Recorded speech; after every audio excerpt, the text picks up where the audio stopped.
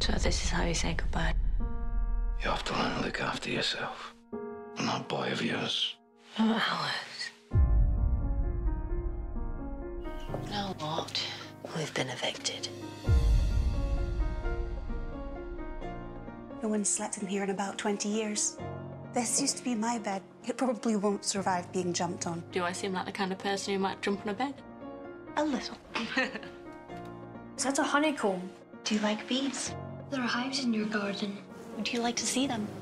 You should tell the bees your secrets. Then they don't fly away. My mom is sad.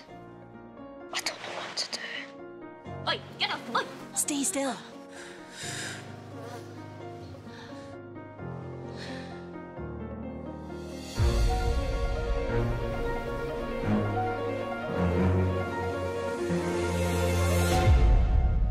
He has to understand that he must keep quiet.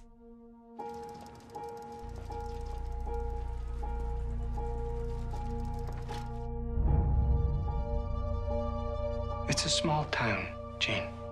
I saw them, Mum and Dr. Markham. Jesus. We should have thought about what might happen. If you come back here, I'll call the police. Then you'll never see Charlie again.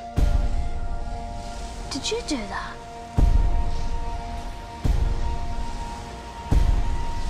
Be a man. I want this.